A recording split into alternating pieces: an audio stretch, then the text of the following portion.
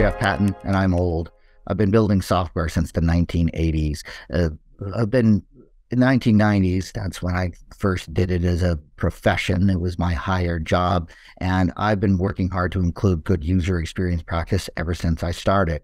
Now, back then, if you're old enough to remember, we didn't call it user experience. That word might have been used, but we commonly use words like user interface design, usability engineering, human centered design, user centered design, user research, a big soup of terms, and we confused the heck out of people. In fact, we were often our own worst enemies. We had to argue hard to get time and permission to do this stuff.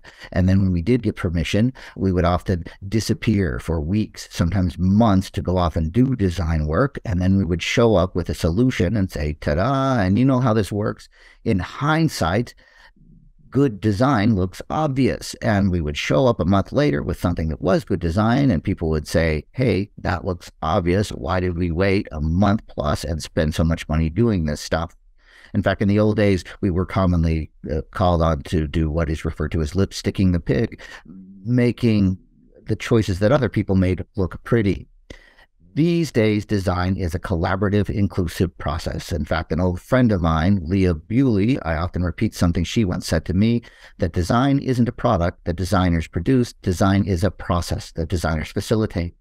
And these days, I work hard to include lots of people in design engineers, product managers, marketing people, anyone else uh, will pay attention.